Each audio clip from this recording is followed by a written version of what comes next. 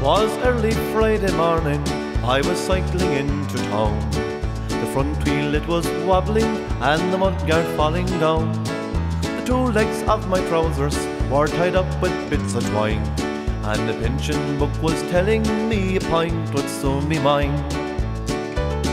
How you, Mr. Murphy, says the postal clerk to me. Not too bad, says I, for a man of 73. A fox came to my house last night and stole my only duck. She says, buy a lottery ticket, she says it might change your luck. Well, I took the little girl's advice and I handed her a pound. Outside, I scratched the ticket with the penknife I had found. Well, I nearly dropped me trousers and grew a head of hair. When I realized I was a bloody millionaire. No more hair tough to save, no more feeding cows. One kick from my big boot and the bike was in two halves. I headed for the local, sure I was feeling great. And friends I never knew before came in to celebrate. Not long after that I had a new suit on my back.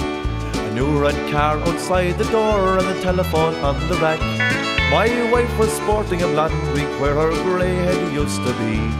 And the Wellington tracks had disappeared from just below her knee. I sat down admiring the new dress that she wore. A brand new set of teeth she got installed the day before. While I held her oh so tightly, like when I was a groom.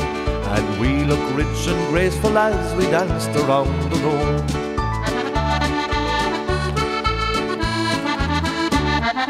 Then I got an awful shock, I thought I'd nearly died. I spied me ugly missus as I opened up one eye. With colours in her old grey head, she nearly made me sick. Get up and milk the cow, she said, you raving lunatic. Was then I realised that it was all a dream. The cows were mowing in the field and the cat was at the cream.